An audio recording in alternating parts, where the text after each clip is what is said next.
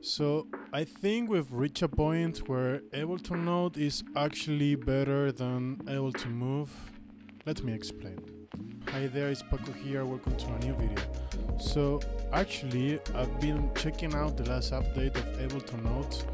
It's uh, I believe 1.3.0. They've also updated Ableton Move to 1.4.1 I think. And honestly if you're in the verge between an iPad and are Ableton Move, think about it because the newest version of Ableton Note is actually very, very good. So the new addition, which I really love, is that you can type notes. So I have this Arturia Keystep 32 connected to my iPad.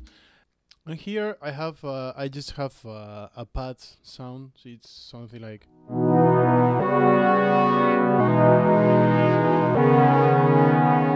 So if you start an empty clip just like so, you can type in notes like like a do sort of thing, right? So when you start playing, let's say that I play let's say that I play this chord.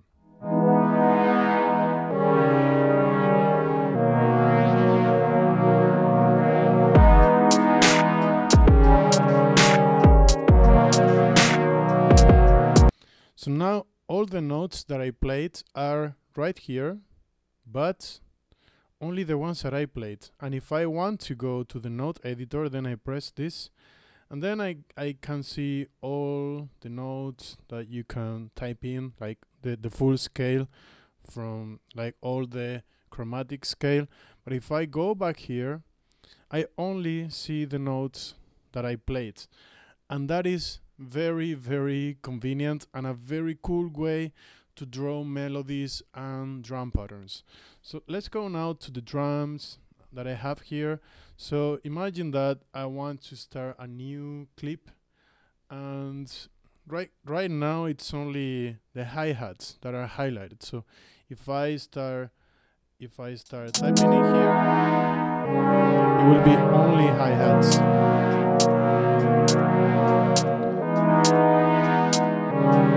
But if I wanna type like a kick or something, then I just press it and then it's right here. So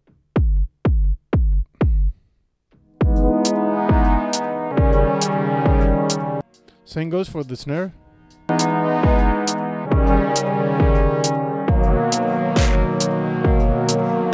And here I only see the notes that are currently in the pattern. So that is very convenient. So I don't have to see everything and I can see better what it is that I'm playing.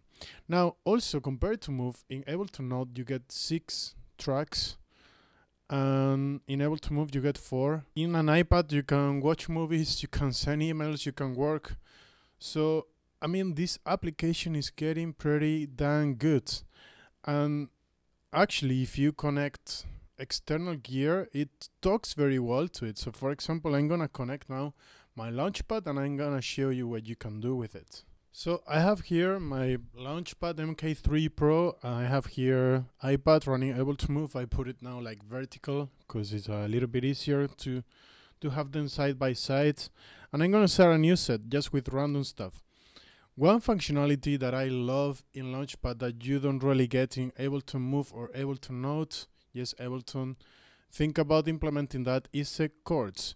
Here in in Launchpad you can you have like a chord functionality where you can play like where you can play like chords with only one pad. So I'm gonna load up like a pad. I I actually no I'm gonna load up a lo-fi piano which I really love.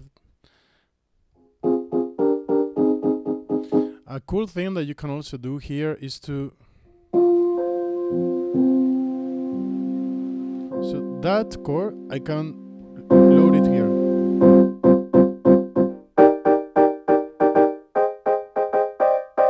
So I have some chords that I loaded. These are the ones that are here by default. You can also like clear slots and maybe load up a new chord.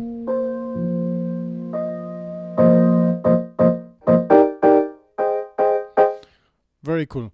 And now like I can play that and get it directly in here. So let's just do that.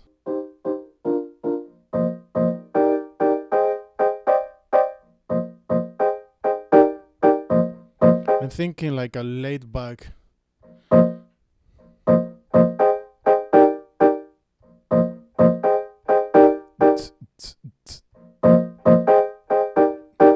Let's go for that.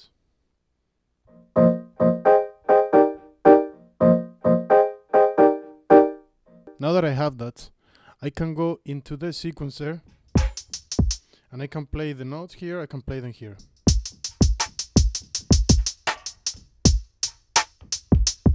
I can also sequence. So right now this is playing from Novation Launchpad, it's not playing from Ableton Move.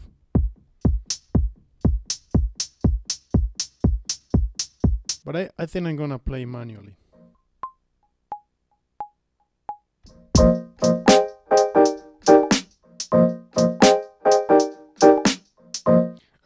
So I just want you to see that you have so many possibilities here. You can also play, for example, uh, you can play the notes here. You can play a bass.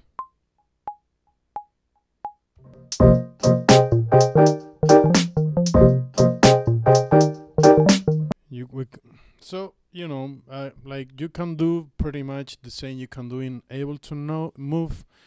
But right now with this new update, I think sometimes I will reach for the iPad rather than for Ableton Move.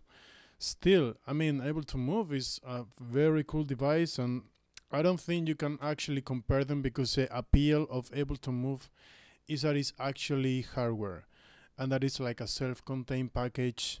So, for example, in an iPad, if you want to, if right now it looks very clean, very, but I actually have a sound card connected to it. I have uh, the Novation Launchpad, so you know uh, you already have to carry a dongle. So Ableton Move is like self-contained, and that's nice. But more and more, I'm realizing that Ableton Note, if you if you make like a like if you get used to carrying a couple of devices, is actually just as good, if not better, because you have more tracks you can import directly samples and stuff into the iPad and you can connect other devices such as the launchpad that increases its functionalities with chords with sequencers and all that good stuff. Actually another thing you can do is to connect Ableton Move. No one is stopping you from doing that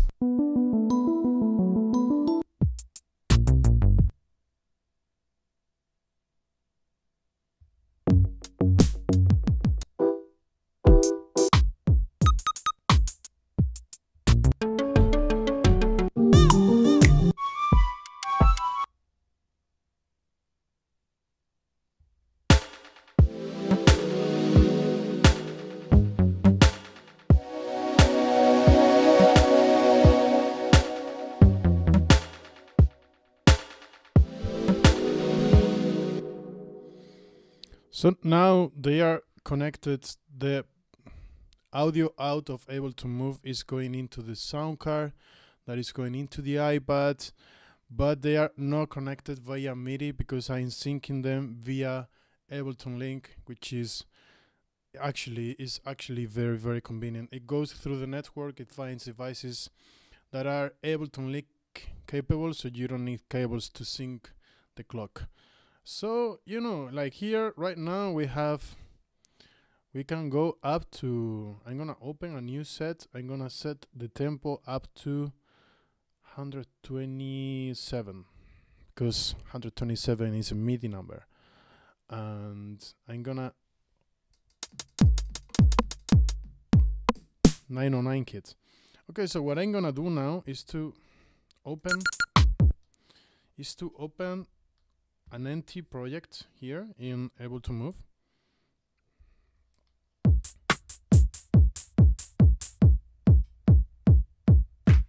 and I'm gonna put a 4 in the floor just like that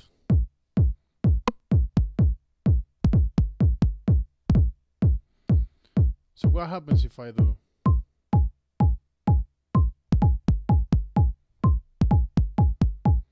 So look at this.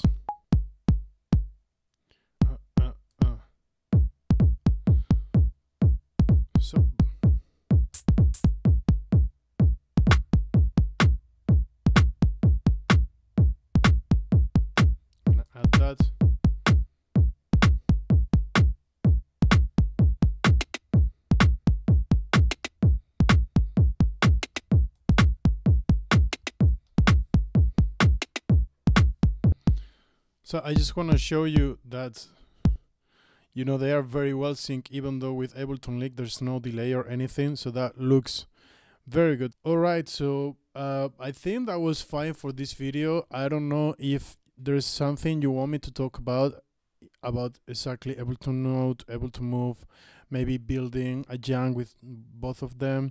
So let me know down in the comments if there is something specific that you would like to see and what you think about it. So thank you very much for watching. If you haven't already, by the way, you can subscribe to my channel. I put similar content every single Friday. And that's it. Thank you for watching. I'll see you in the next one. Bye.